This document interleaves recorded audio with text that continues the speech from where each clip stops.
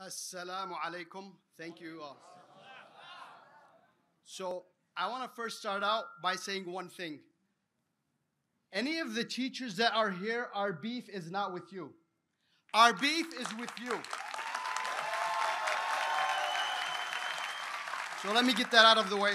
Now, last month, I came to the board meeting for the first time in my life.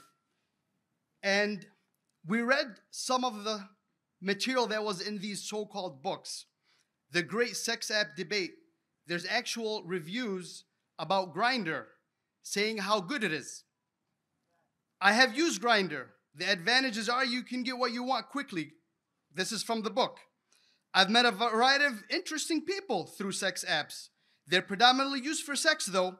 They're sold to us as social networking apps, but we all know what they're really for. I don't have a problem with that aspect of it. If people want casual sex, then something like Grindr is a must. And we read that to you last month. And you looked at us like we were some kind of crazy people speaking to you, like almost like we had nothing to uh, like like we had nothing to say. Now, does anybody need a college education or a PhD to know that this book is not appropriate for kids? Why, in God's name, do we need to have some complicated process? This is strictly just common sense, guys. How did we get to this point? So, when I mentioned this last week, I thought what's going to happen is you guys would be like, okay, you know what, you parents, you have you have a point. We'll work on making our processes more robust. These books absolutely do not be- uh, belong in the library. But instead, what happened was the exact opposite. We were viciously attacked, social media and beyond social media. Even people like me, people trying to get me fired from work, and yet at the same time,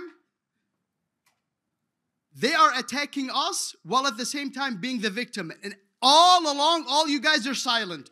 What exactly are you doing? So let me say this. Let me say this. I have faith in the great people of Dearborn, okay? The vast majority of people in Dearborn agree with us. We are a compassionate people. We are a tolerant people. We are a faithful people. And at the same time, we are a courageous people. And we're not going to give up until this issue is finally resolved. And unfortunately, it's not going to get resolved until you guys are removed from the board.